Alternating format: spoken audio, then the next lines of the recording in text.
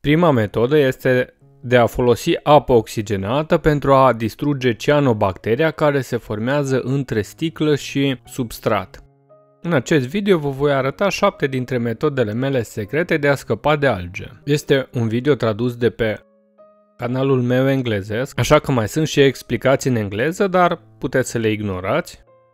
Ați văzut că am tras niște apă oxigenată și apoi am injectat-o între sticlă și substrat, iar dacă am fi avut aquasoil, nu puteam să folosim apă oxigenată, trebuia să folosim carbo, pentru că apa ar distruge bobițile de aquasoil, însă și carbo este la fel de eficient pentru a distruge cianobacteria.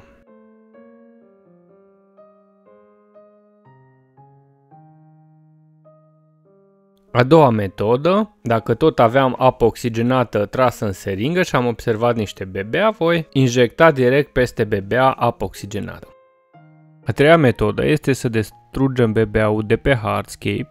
Metoda funcționează și pentru alte alge, dar în cazul meu lemnele sunt pline de bebea. Nu știu în ce măsură puteți să vedeți în video pentru că e negru pe negru, Scoatem apă până la acest nivel, punem doza pentru ziua respectivă de carbo și cu o pensulă aplicăm pe hardscape pe toate zonele afectate de alge.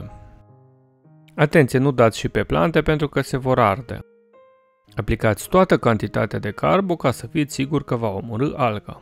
După ce aplicăm carbo pe BBA, acesta se va face fie alb, fie roșu și va fi mâncat de către viețuitoare. În mod normal BBA-ul nu poate să fie mâncat pentru că el conține calciu și este dur, însă după tratamentul cu carbo sau cu apă oxigenată devine moale și este ușor de rezolvat. Tot așa am făcut un video întreg dedicat acestei metode, dar atunci am tratat niște diatome, acum facem doar un mic rezumat. Metoda asta patra nu ar trebui să fie secretă, toată lumea ar trebui deja să știe că între substrat și sticlă trebuie introdus cardul, în special pentru mizere, dar ajută și pentru alge, mai ales complementar la metoda cu apă oxigenată. Iar pentru algele de pe silicon de la marginea acvarului, unde nu putem să folosim un răzuitor de alge, folosim o periuță din aceasta de unghii. Sau putem să folosim, de exemplu, un Magic Sponge, însă eu prefer periuța că e mai eficientă.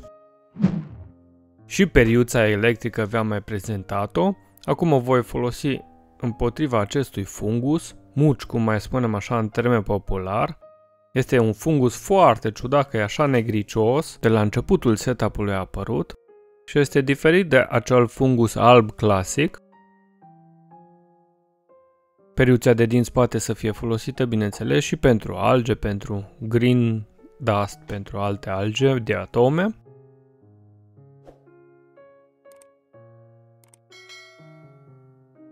Iar unde trebuie aplicată presiune mult mai mare, merge o perie din asta de sârmă pentru grătar. Eu am luat la set de câte 3, de la Lidl însă se găsesc cam pe la toate supermarketurile.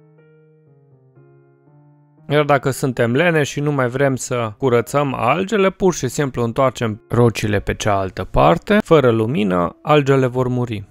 O metodă pe care am învățat-o de la Tom Bar. Iar dacă celelalte metode nu funcționează, apelăm la metoda disperată, și anume blackout-ul, stingem lumina timp de 3-4 zile și acoperim foarte bine pereții acvalului, iar astfel algele vor muri, însă și plantele suferă puțin. Apropo de plante, uite 10 pe care le poți crește fără CO2.